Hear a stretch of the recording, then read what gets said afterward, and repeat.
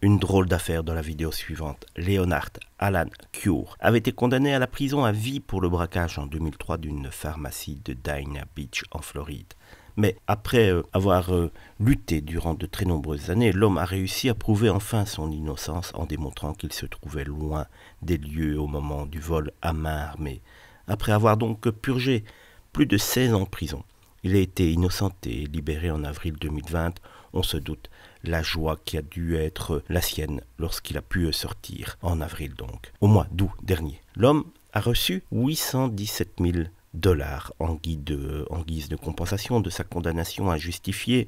On le sait, l'argent n'arrange pas tout, mais euh, vous permet quand même de voir un petit peu la vie différemment.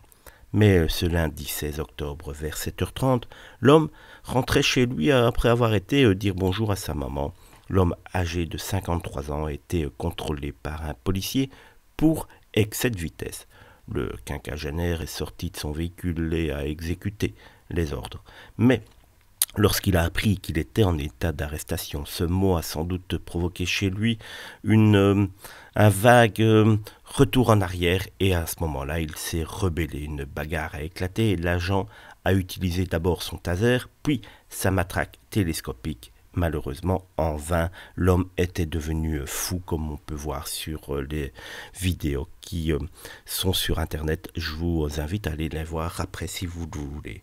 L'adjoint a alors sorti son arme et euh, a abattu Cure. Les secours arrivés sur les lieux n'ont pu que constater le décès du quinquagénaire qui, euh, sans doute, a été pris d'une folie passagère lorsqu'il s'est revu partir en prison.